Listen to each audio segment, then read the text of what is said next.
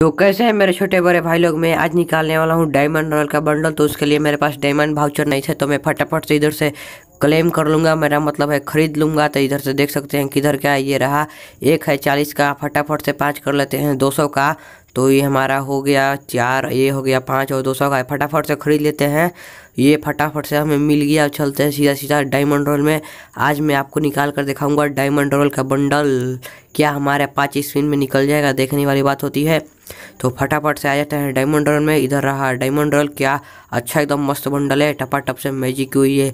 लड़की का चड्डी टिप देते हैं। उसके बाद देखते हैं क्या हमारे को ये निकल जाता है। तो फटाफट से स्पिन कर देते हैं। क्या हमें पहले स्पिन में मिलेगा? पहला स्पिन में मिल गया टट्टी। तो क्या दूसरा स्पिन में मिलेगा हमें बंडल?